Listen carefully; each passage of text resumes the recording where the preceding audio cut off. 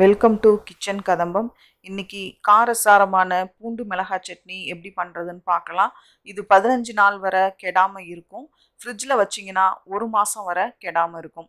இதுக்கு ஒரு பதினஞ்சுலேருந்து இருபது வரமிளகாயை சுடுதண்ணியில் ஒரு முப்பது நிமிஷம் ஊற போடுங்க.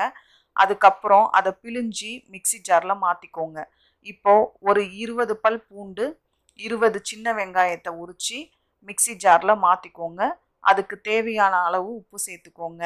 ஒரு எலுமிச்சம்பழம் அளவு புளியையும் சேர்த்துக்கோங்க.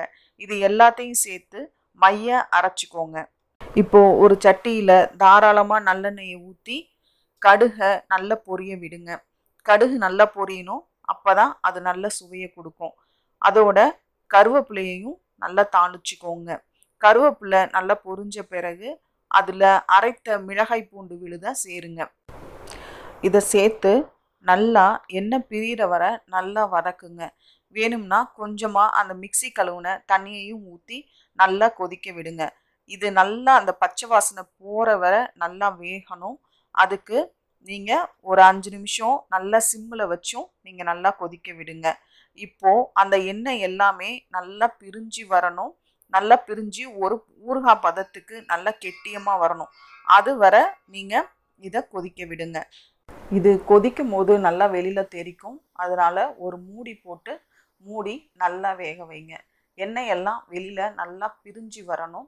அது வர சிம்மில் வச்சு நீங்கள் நல்லா கொதிக்க விடுங்க.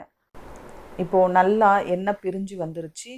சுவையான காரசாரமான மிளகாய் பூண்டு சட்னி ரெடி ஆயிடுச்சு இது இட்லி தோசை தயிர் சாதம் எல்லாத்துக்கும் ரொம்ப நல்லாயிருக்கும் பதினஞ்சு நாள் வரை கெடாமல் இருக்கும். இப்போது கொஞ்சம் மேலே நல்லெண்ணெயை ஊற்றி நல்லா கிளறி விட்டு அடுப்பை ஆஃப் பண்ணிடுங்க இது ரொம்ப சுவையாக இருக்கும். இது ரொம்ப நாளைக்கு கெட்டு போகாமல் இருக்கும். அவசர நேரத்துக்கு ரொம்ப உதவியாகவும் உங்களுக்கு இருக்கும். நீங்கள் ட்ராவல் பண்ணும்போது இந்த சட்னி ரொம்ப ஏற்றதாக இருக்கும். இந்த சட்னியை நீங்கள் ட்ரை பண்ணி பார்த்து பிடிச்சிருந்தா லைக் ஷேர் கமெண்ட் பண்ணுங்கள் முக்கியமாக சப்ஸ்கிரைப் பண்ணுங்கள் தேங்க்யூ ஃபார் வாட்சிங் கிச்சன் கதம்பம் மீண்டும் சந்திப்போம்.